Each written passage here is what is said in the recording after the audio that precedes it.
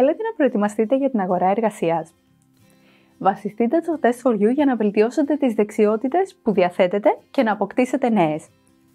Θέλετε να αποκτήσετε πιστοποιητικό πληροφορικής; Εμπιστευτείτε το τεστ φοριού για να πιστοποιήσετε τις γνώσεις και δεξιότητές σας στην πληροφορική με ένα αναγνωρισμένο πιστοποιητικό από το ΑΣΕΠ για σίγουρη επιτυχία με την πρώτη.